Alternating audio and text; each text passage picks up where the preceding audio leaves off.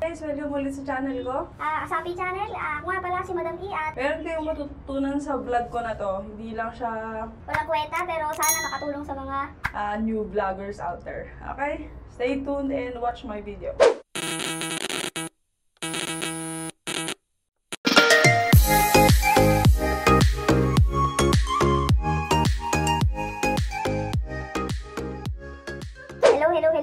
Sana may matutunan kayo dito sa vlog ko na to. Sana panoorin nyo kasi kasi meron kayong mapapanalunan pa rin. Sa mga bago po sa channel ko na to, um, kung magustuhan yung video, don't forget to like and subscribe. So, ang vlog ko ngayon is all about vlogging setup. Pero, ay, may motor pa. Basic, basic setup, basic set, uh, basic setup ng phone vlogging. Pero yung vlogging natin today is kung ano ba yung pinakamura na pwede natin gamitin sa pagbablog natin. Katulad ng ginagawa ko ngayon. So ito yung mga ginagamit ko ngayon guys. Very affordable siya. 1,000 pesos lang, makakapag-vlog na kayo. Yung vlogging naman kasi hindi naman siya mahal. Kung ano yung pinakamura guys. Kasi sa, Kasi tayo mga Pinoy, gusto natin yung video pero gusto natin yung dun tayo sa makakamura. Ayan, tulad ko, ito pa lang yung ginagamit ko ngayon. Wala tayong ilalabas na puhunang malaki o perang malaki. Kasi baka mismo sa bahay mo, meron ka niyan. Sa mga aspiring vloggers yan, katulad ko, simulan na natin yung vlog natin. Sa number one na kailangan dito sa vlog, pero murang-mura lang, is your own cellphone. Your own cellphone. So, pwede kang mag-vlog. Ayan. So, umpisa natin sa phone mo. Kung ano ba yung phone mo, may camera ba yan? Mag-start ka kung sa anong meron ka. Ah, my phone, Cherry Mobile, Xiaomi, iOS, ah, Samsung, Pwedeng pwede yan, basta may camera at pasok na pasok yan. Sa camera natin, um, gagamitin natin yung ah, rear, rear cam niya. Kasi yung front cam, medyo low quality pa siya. Hindi advisable na ito yung gamitin natin sa pag-vlog. Alam ko, most of the Android phones and iOS phones have um, at least 5 megapixel camera. Ayun, maganda na siyang quality. Papakita ko sa inyo yung um, setup ko ngayon. I, I am using um, Samsung 7 Edge Na camera ngayon para maniwala kayo. So, i-video ko siya using my other, other phone para maniwala kayo na talagang legit yung ginagamit ko. So, ito siya. So, ito siya. Ayan, Samsung phone yan, 7 Edge. So, cellphone lang yung gamit ko, guys. Ah, med- medyo malabo. Yan nga, guys, cellphone lang yung gamit ko.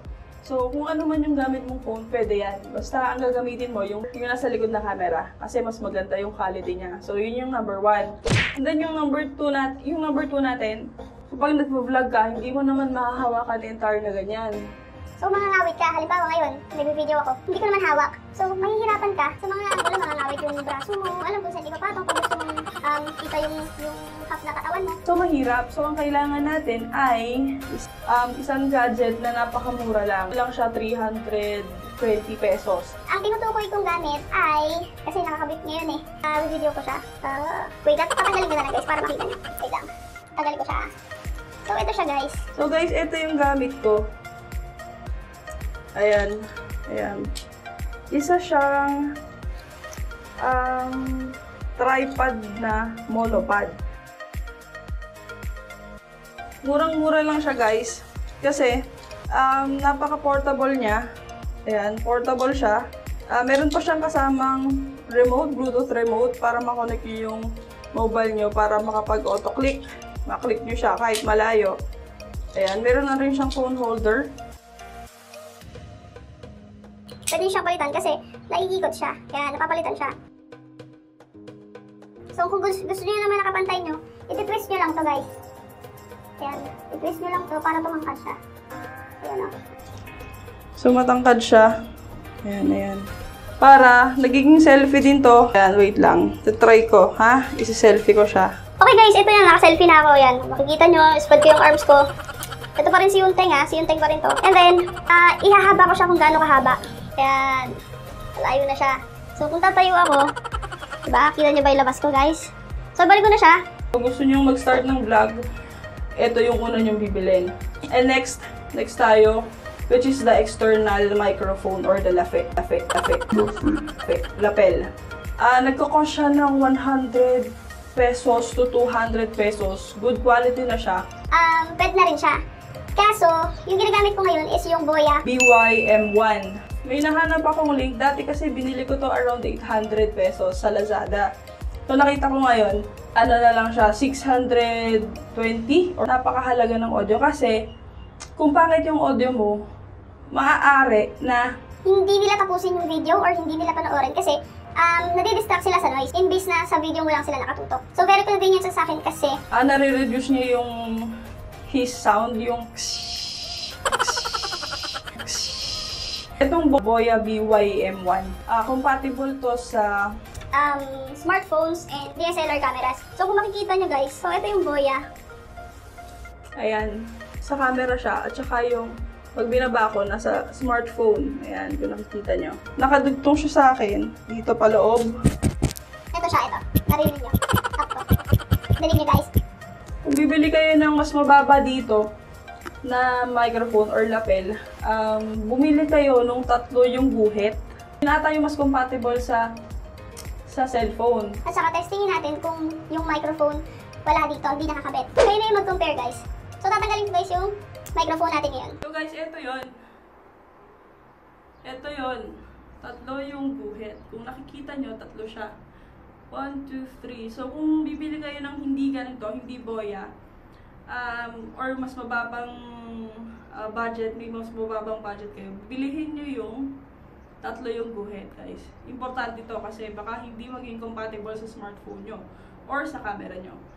Paalala lang guys, so narinig nyo ba yung audio? Sana na-compare natin yung may mic tsaka wala. Okay guys, kung wala kang pera, wala kang 200 pesos, hindi ka makakabili ng lapel, Meron ka pa rin, meron pa rin akong solusyon sa inyo guys.